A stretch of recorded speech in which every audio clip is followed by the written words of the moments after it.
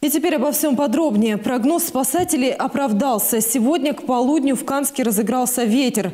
Да так сильно, что банальный пал травы превратил в огненный шторм. Гаражи и дачи в районе 4 военного городка чудом уцелели.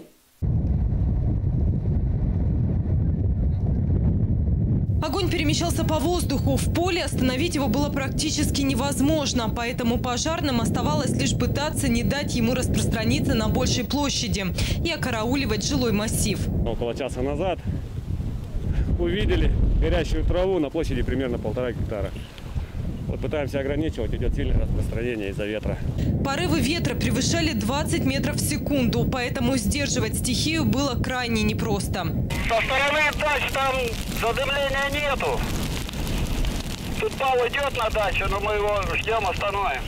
К счастью, к дачам пожар не подошел. Жилые постройки не пострадали. А вот к гаражам пламя подступило вплотную. Владельцам пришлось помогать пожарным. Постоянно. Кто-нибудь да подарок нам под- подложит. Не первый раз тушите огонь здесь? Каждый год. По два раза в году. У вас ресницы опалены, да? Ресницы, волосы. вон. Как только начинается, так и все и горит.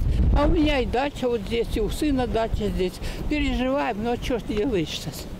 Есть очевидцы, которые видели самое начало пожара. Вероятнее всего, говорят они, это поджог или неосторожное обращение с огнем привели к столь крупному возгоранию. Ну, я видел там ну, мужчина, ну, кто-то мужской пол, короче. И он бежал, потом бегом бежал, там падал, падал, и вот туда где-то. Пока я вышел, он уже не видать здесь было. Локализовать возгорание пожарным удалось достаточно оперативно, однако риск развития подобных пожаров сохраняется, пока в Канске не стихнет штормовой ветер.